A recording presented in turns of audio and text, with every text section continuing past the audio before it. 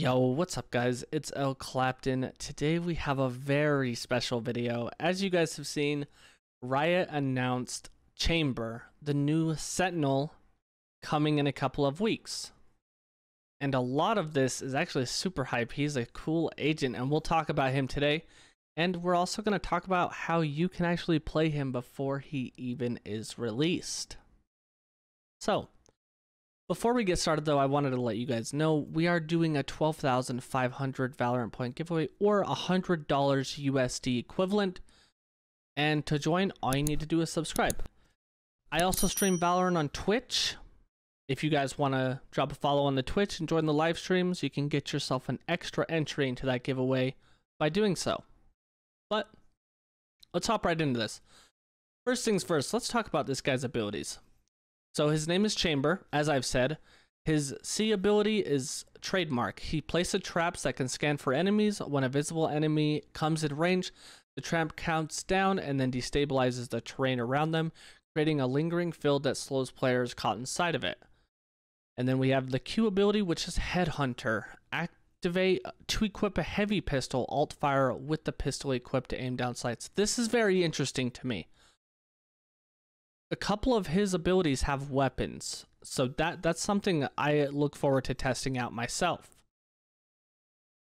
Run rendezvous place two teleport anchors while on the ground and in the range of the anchor reactivate to quickly teleport to the other anchor anchors can be picked up and be redeployed and then tour de force activate a activate to summon a powerful custom sniper rifle that will kill an enemy with an any direct hit Killing an enemy creates a lingering field that slows players caught inside of it.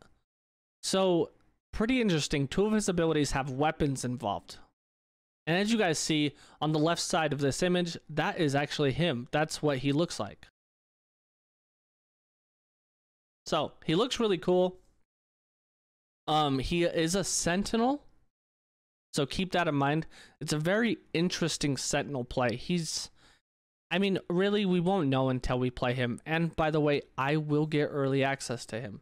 So make sure you guys are subscribed. I will be streaming it on Twitch, so drop a follow over there. Now, as I cycle through these other images that we have of him that have been released today, let's talk about how you can play him earlier than everyone else.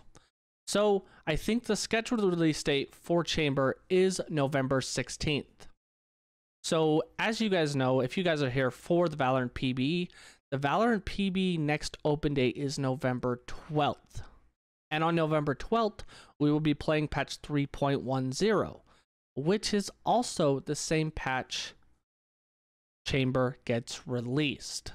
So, if you're a part of the Valorant PBE, you will be able to play this character before everyone else.